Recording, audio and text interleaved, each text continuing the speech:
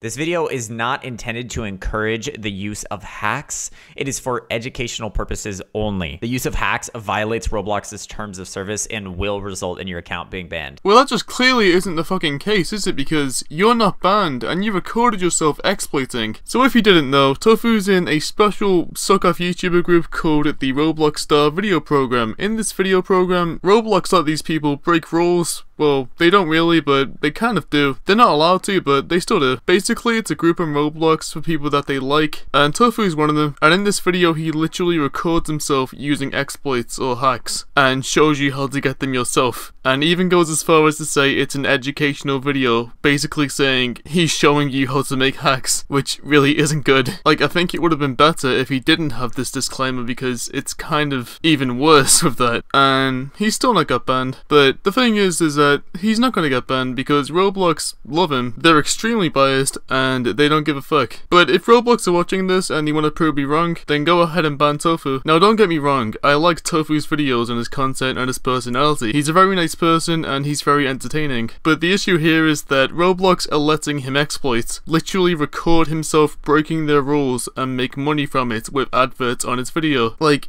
you can't make this up. This fucking company is letting people that they like break rules. It's special snowflakes like Tofuu that get to break rules. This stupid fucking group called the Star Video Program is just broken. Whoever's running it is fucking stupid. Like half the people in the group online date, or they hack, or they scam people, and they're getting promoted like Tofuu is, with a star next to his name. I'm not saying everyone in the group is like that, or that the people that do that are bad, but they're breaking rules and they get away with it. Um, but anyway, we'll go ahead and try this out. That just gave me B tools. Are you actually kidding me? Are, are you kidding me? And they, and they work.